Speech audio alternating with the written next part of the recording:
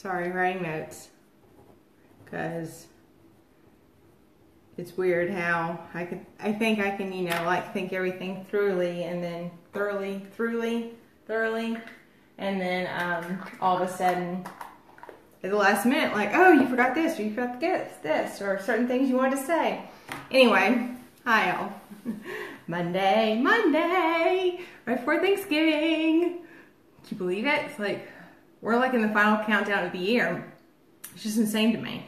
Like we've got, let's see, what, four or five weeks uh, in, in December and then or a week and a half, to, another week and a half left of um, November.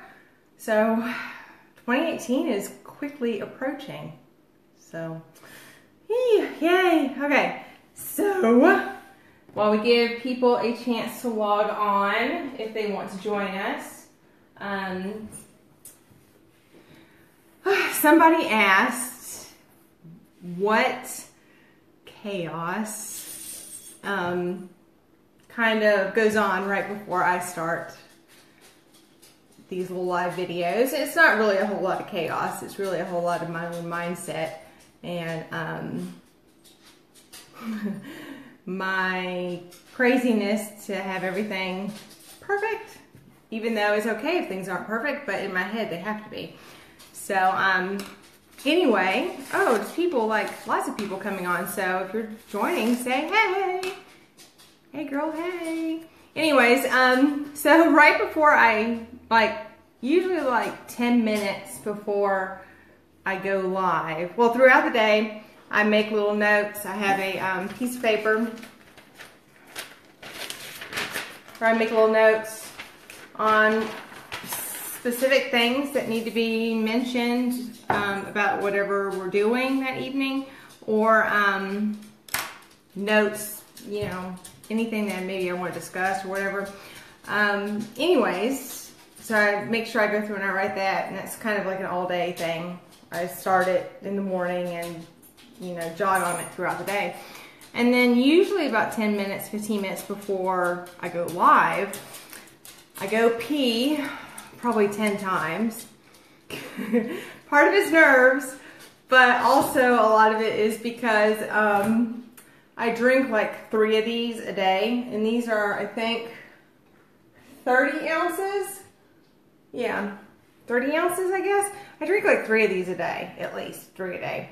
Um, so I go pee like 10 times right before the start because that's like the worst is like if you're sitting there like holding your bladder when you need to be doing something else.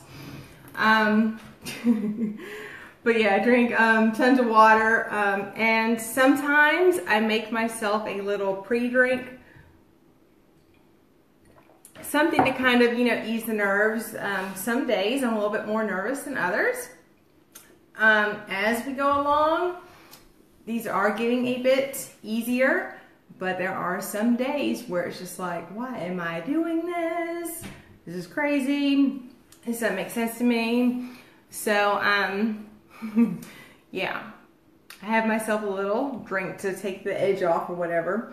Um, but I do go through and, you know, of course, put the ice in the martini shaker, grab, you know, whatever cold ingredients, make sure I've got all the supplies that I need. Um, like tonight, we've got um, the hot glue gun, so I had to make sure I just turned that on. Um, so little things like that. So it's not really that chaotic in my head. It feels like that way, but um, I think I make it a bit more chaotic than it really is. So anyway, tonight we are doing the um, cran apple martini. Um, we're kind of approaching winter, so winter martinis are, you know, about to roll out, and um, this is the last of the fall martinis. And cranberry and apple are a good fall combination. So, um, cran apple martini tonight. And then we're gonna make these awesome flowers. This is something I just learned to do several months ago. And they look like they are so much more difficult than they really are. but again, I'm super simple, easy peasy, and um, I wouldn't be showing y'all something that took a ton of time. So we're going to do some of those. But first, of course, we always start with a martini. Again, as you guys join on, please say hello. I'm so glad Bethany is a faithful watcher, joiner, yeah, listener, watcher, yeah, something like that. I need to come up, you know how like um, Lady Gaga calls her, um, it's like House of Gaga or Little Demons, I think is what she calls them. And um, Mariah Carey calls her followers her little lambs. Um, I need to come up with like a martini with Amanda, like Amanda thing or something. Yeah, but something nice, not like something stupid like Montana Monkeys or something, or Amanda Monkeys. That's weird. Yeah, so anyways. Hi, my mom is here and my friend Rosemary. Yay. Okay, so we're gonna do the cran apple martini. Cran apple martini, you need, of course, a shaker with ice. You need cranberry juice. You need sour apple pucker and vodka. We are going to do, um, I've got my notes all spread out all over the place, and usually I have them all on one page. Um, you are going to do one part sour apple pucker. And in all honesty, if you had just plain apple schnapps, this it would probably have a completely different taste. So if you don't like the um, sour apple mixture that you make, do the um, find a regular apple schnapps. You're going to do a part or half a part of um, vodka. So one part sour apple schnapps, half part vodka, and two parts cranberry juice. What's weird, when I was growing up, I did not like cranberry juice at all. Not one bit.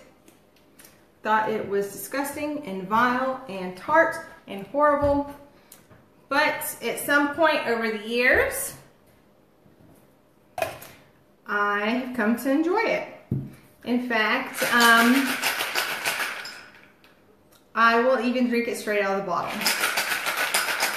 If it's cold. I mean, if it's warm, it's not good. But, um, yeah. I enjoy cranberry juice now.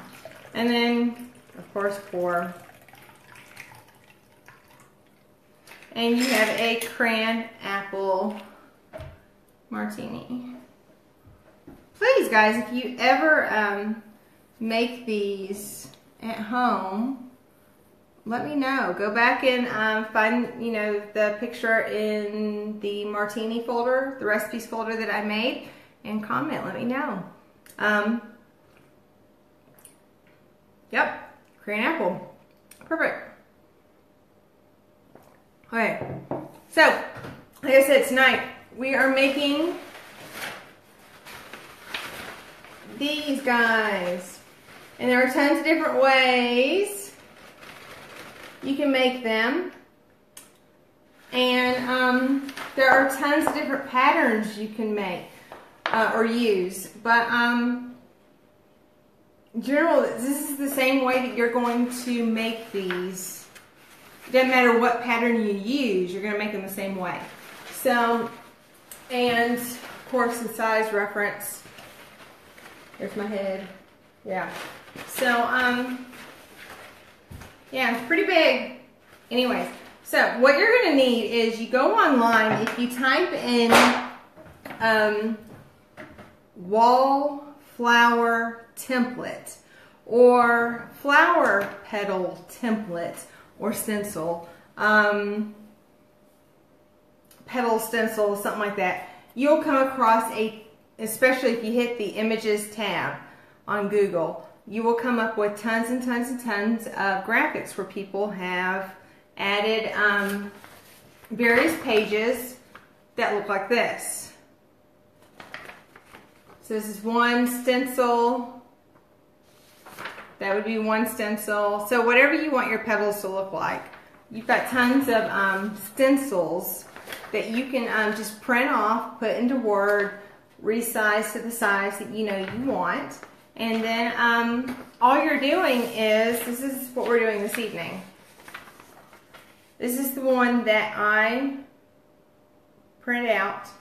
So there is my large um, petal. And then here is my small. Now, you could use that one if you wanted. I wanted mine a tiny bit bigger. So I did a little bit of resizing. And there's my other size. You can't really tell there. And then there's my smaller one. But all you gotta do is find whatever template you like and then size them the way that you want them. It's, I mean, super, that simple. And then all you're doing is finding whatever cardstock that you um, want to put in your colors. Um, don't think they all have to be the same color. It doesn't have to be all, you know, this one is all like a, you know, light lavender, lilac color or so, real light color. If you wanted to um, do like an ombre type thing, do darker to um, a little bit lighter to lighter, you could certainly do that with, you know, yellow middle. Um, so don't think that it has to be all one color. But pick out whatever color um, paper you want. Now, for me, consistently, I have needed six of the largest. Now, of course, the larger flower that you want to do, the more petals you're going to need. But for me, um, six of the largest. And then I've only needed five of the middle and the smaller. But there has been an occasion where I have needed that sixth one.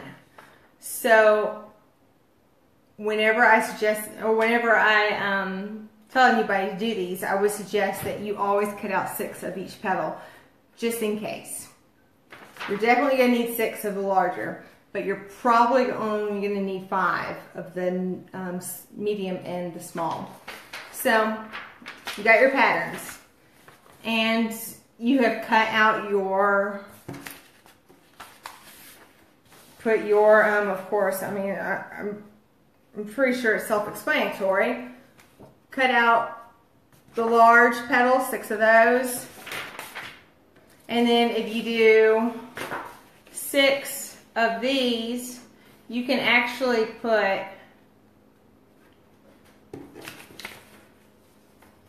six of each. So you can put the medium and a smaller on that and um, cut out six easily there. So you're not wasting a ton of paper. Um, if you watch Hobby Lobby and their sales, you can get um, paper um, for super cheap. But um, if you don't, you're gonna be paying like a dollar 79 cents. Well, these are actually probably like 59 cents a piece. Um, the big square pieces, the 12 by 12s, are usually like 79 cents. So if you um, get it during a sale, usually they're half off, which is so much more worth it. So I've already gone through and cut out my large pieces. I've already gone through and cut out my medium pieces. And I have already gone out and cut out my medium, or my small pieces. Now, let me show you. Once you have cut out your medium pieces, this is, or your small pieces, sorry. your small pieces, um, you are going to, you see how you've got a flat side there, you're just to cut a little slit right there in the middle. You can see that. Just a little slit right there in the middle. Don't go too far up, about half inch, three-fourths inch or so up, or whatever. Um, and I have done that with a couple of them just to, um, and I'm doubling them up. Just, I got two pieces here. Because again, it's all about saving time. Okay, so You've got your small piece here. Now all you're going to do is, you see how you've got that slit there. What you're going to do is just gonna fold one piece over another, just like that. Does that make does that make sense? Can you see that easily? You're just gonna fold it under just a little bit of that. That way so it creates just a little bit of a, looks like the leaf is, the leaf is curved. Actually, first, you're gonna do this. see, this is what happens when you drink a tiny bit before um, you go live. You can take a pin and put it on the end of your petal and just curl it in some, not a ton. That way so it gives it a little bit of a curve. Or you can take your petal and put it against a um, somewhat, you know, hard surface and um, pull it down against it. That way so it gives it just a little bit of a curve. So um, it depends on how much of a curve you want it to have. It's not really that deep because once you start putting it all together, everything kind of falls into place and um, it'll look fine. So um, like I said, you could use a round object of a pen or a um, marker, pencil is fine. Okay, so like I said, once you have curved the leaves, you are going to um, take one side and just fold it over. So what I'm going to do is I'm going to take my hot glue. I'm going to put it on one side of the leaf right there.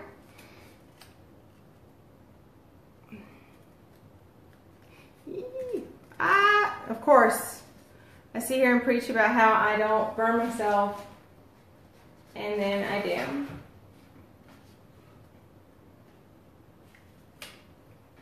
And then just glue it in place. That way so it doesn't um, come apart, of course. So all y'all that saw my post earlier say about how I'd gone a month or so without burning myself, guess what? You just saw me burn myself. anyway. So, okay, again, same thing with all of the pieces. And why is it that hot glue can like stick to everything? It doesn't take a whole lot of hot glue to um, make the pieces stick. And it, and you could do this just with um, regular glue, but it just takes a little bit longer. Hot glue dries so much more quickly. I'm sure some of y'all are just like laughing at right now. So with that being said, why not? Alright, so like I said, when you do these, you're to need to um, have at least, at least five. I would always prepare six when you're doing um, each layer of petals. And I had planned ahead and done all of these earlier, but evidently I forgot to make extra of the smaller ones because I've already done the um, medium and the large.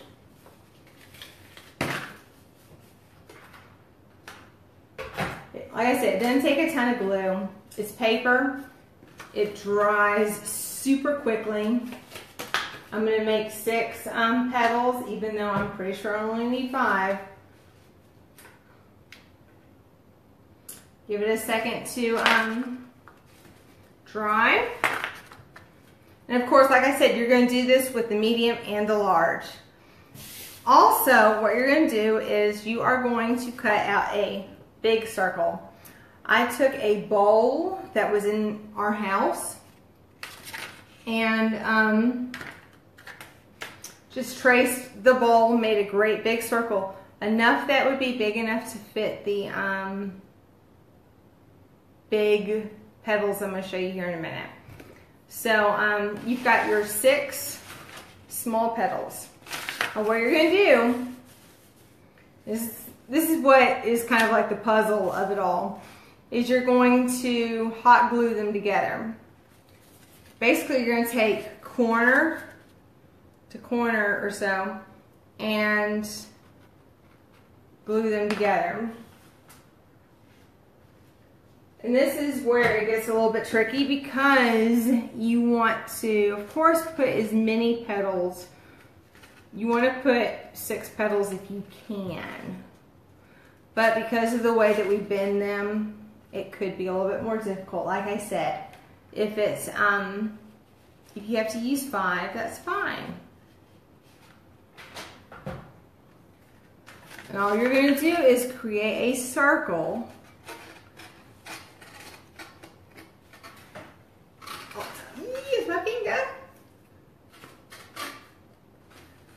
create a circle with the five pieces. And this is the exact same process you're going to do with the medium and the small, or the medium and the large. Um, petals. Yeah, because see, I got one, two, three, four. I'm only going to need five petals here. Y'all let me know if you have any questions or if I'm not describing something well. Right. It's just paper, y'all. It's just paper. So don't get scared if um, it is not um, perfect. It's just paper. It bends. It moves with you. And I just put glue on my table. Right, so here are my five,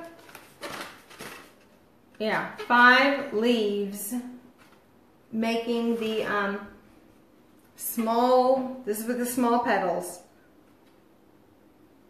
That makes sense?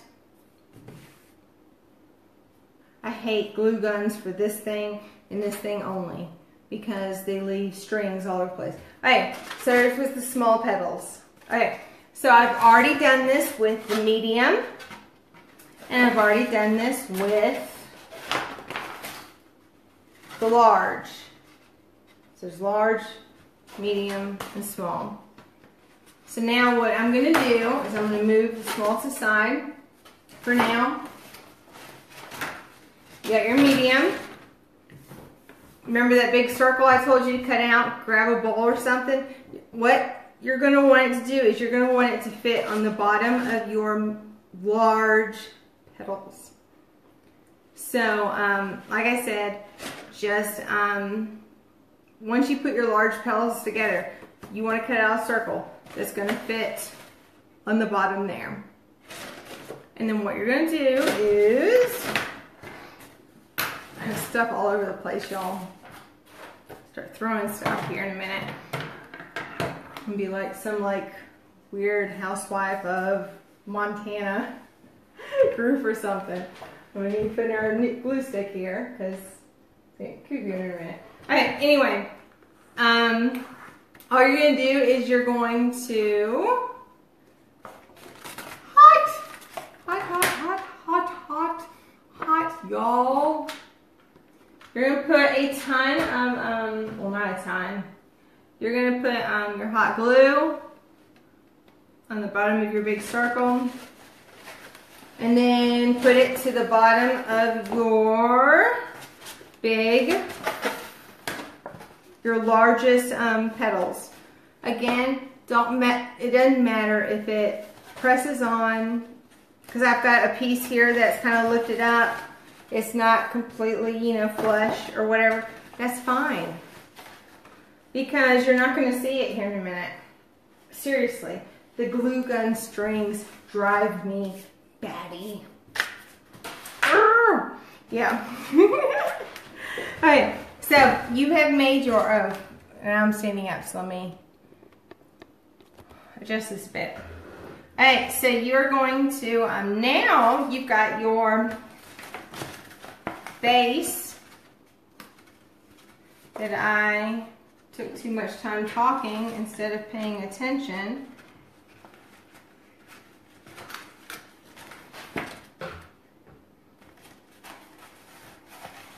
Okay, so then what you're going to do after that is once you have that base, that circle, um, hot glued to your large petals, you're going to take your medium petals. Kind of think of where you want to position them. I like to position them where a petal is meeting a gap.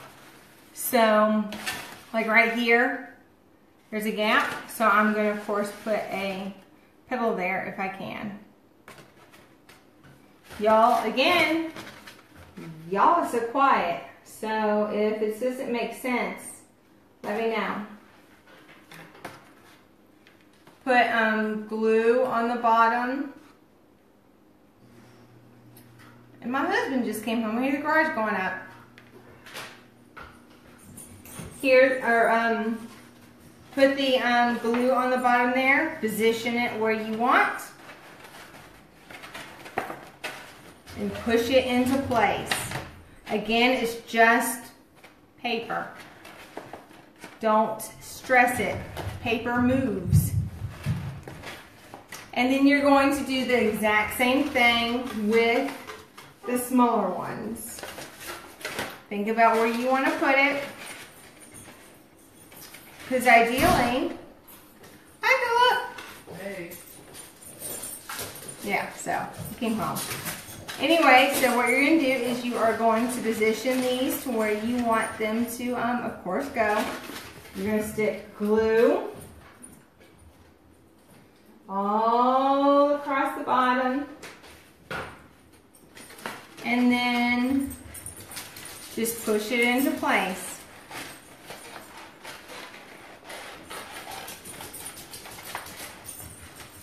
Hot glue doesn't take much time at all to dry. So give it, you know, a couple seconds to make sure that, you know, it's all where you know you want it to be.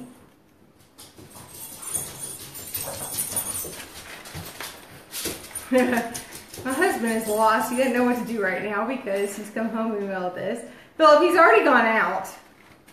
He's good. you want to come say hi? I'm good. Okay, he says he's good. So never mind. Anyways, so there's our flower so far. Now all we have to do now is the middle. Now, this is where, like I said, if you um, don't want to put it on your walls, which is fine, this is where you could um, totally make it a Thanksgiving um, decor kind of thing, your table decor.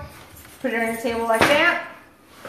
If you have a vase, a vase, I call them a vase, put it on your table like that. The vase fits perfectly in the middle.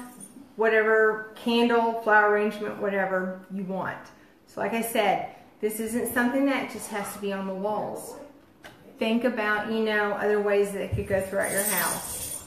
So, but mind you, if you have it sitting out, it's still going to collect dust.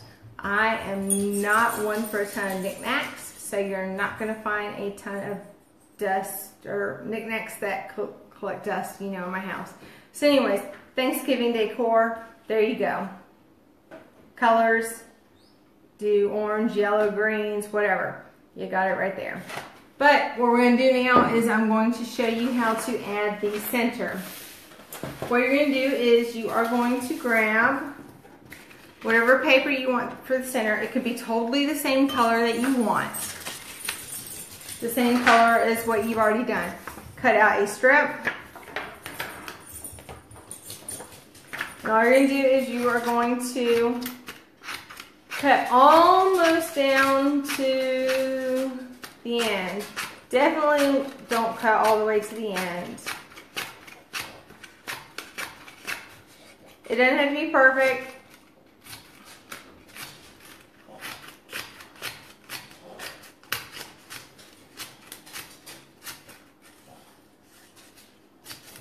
And what you're going to do is you're just going to start rolling.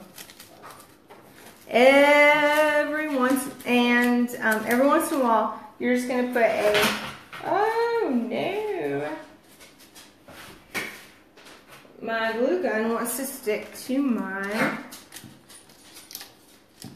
plate. Every once in a while you're going to stick a um, dash of glue just to keep it from um, unraveling. It's not really that deep though. Don't think like it's, you know, that hard. And you're just gonna roll it. And this is completely on preference, how thick you want the um, middle to be. I've already cut out several strips. Dot of hot glue. And just keep rolling. I'm to do another one of these after this, just so you get the point and just so my flower looks decent. Like I said, it doesn't take a ton. This is not um, something that you have to worry a ton. There's nothing here that is like measurements and specifics. You make it as thick as you want to make it. Okay, and once you have that done, Give it a second to, of course, you know, harden the, you know, the hard, and all you're going to do is you're just going to push all of those pieces apart. Remember, it's, it's not about perfection. It doesn't have to be what you would see as like symmetrical or anything like that. put it all, push them apart. I could have probably added one more um, layer of the um,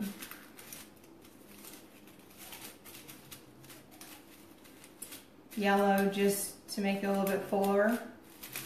But scrunch it up. It's not about perfect. It's just spread it out. Think about the inside of a flower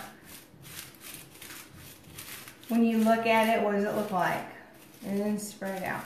And then all you're gonna do, stick a crap ton of hot glue there.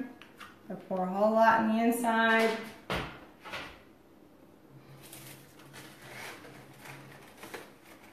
And just press it into place. Once it dries, you can push the um, flowers or push the um,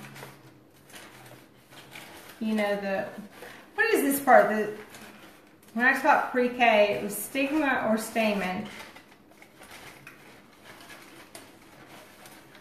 You can push all that into place or whatever. Y'all help me out here. Don't make me feel like I'm like here by myself. This is not making me feel like all optimistic about next week and everything. I'll tell you about that in a second. So, um, once you have glued it into place, it's there, give it a second to, you know, dry and everything.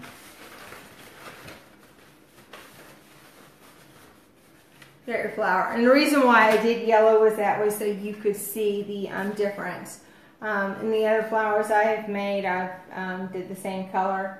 Um, of course, Again, for those of you that are awesome at, um, you know, color combinations and party planning and all that kind of stuff, um, maybe you can see better ways to do this.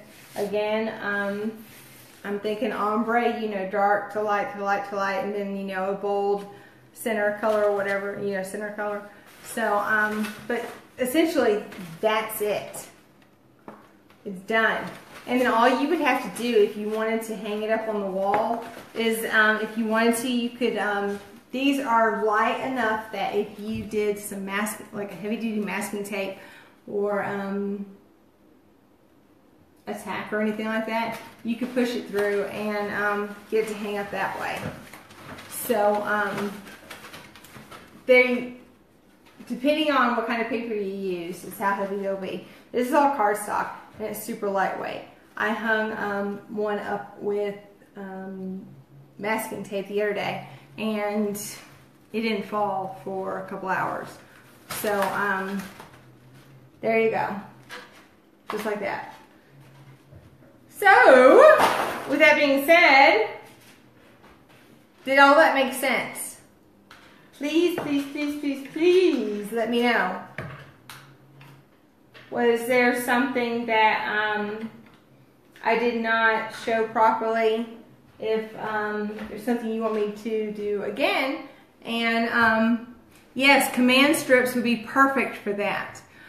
Although me and command strips don't get along, it doesn't matter how much I follow the instructions. It doesn't matter what I do. It always takes off a part of my wall. So I typically don't buy command strips. It is a whole lot easier for me to buy some wall filler and um, brush a coat of paint over it and call it a done deal. so anyways, um, yeah, it's that simple. Perfect Thanksgiving decor, perfect for parties. Um, if you have a little girl, perfect, you know, embellishments for a little girl's room. Um, super, super easy. Not time consuming. time consuming. And um, like I said, you can completely customize them and make them, you know, as big or small as you want, colors, all that stuff. All right, so with all that being said, y'all know what's next week, don't ya? It's only the best day in the whole wide world. Next Sunday is my birthday. And if you don't know, it's my favorite holiday in the whole wide world. Why? Because my birthday is all about me. It's about me, me, me, me. Yeah. I'm not one of those people, if my birthday falls on Thanksgiving, guess what? You better give me another day. I love my birthday. so next Sunday is my birthday. So next Monday, I will be celebrating my birthday with y'all. And um, in order to do that, um, not in order to do that, really. Um, next Monday, we will be talking about the year 1979. Yeah, it was the year I was born. So next Monday, we're just going to sit here and chat. We're going to drink. We're going to have us a good time because it's my birthday and I'm going to throw myself a little online birthday party. Um, I thought it would be a lot easier than um, it would be, but when I started planning it, it's a lot harder than I thought it'd be. But anyways, so next Monday night, we will be chatting and talking and just hanging out. 1979, talking about my birthday year, November 1979, talk about all the things that were going on during that year. And um, we are going to make one of my favorite martinis. One of my favorite martinis. Like,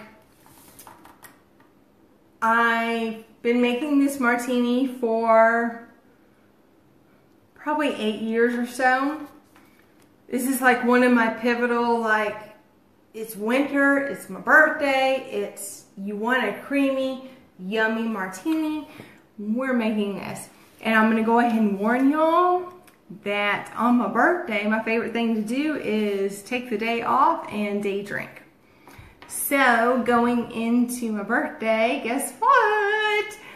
That Monday night, I don't expect a ton of um, things being logical, maybe, coherent, or whatever. So um, anyway, so yes, next Monday night we will be talking birthday, 1979, talking about the things that happened during 1979, not just on the day. And we'll be making the oatmeal cookie martini. So with all that being said, um, since before I see you guys next week, we will see Thanksgiving. I hope all of you guys have a happy and safe and wonderful Thanksgiving. Um, of course, I'll still be posting and chatting and seeing what you guys have to say. Um, so, with all that being said, love y'all. Thank you all for joining me this evening, and I hope to see y'all next Monday night. Bye.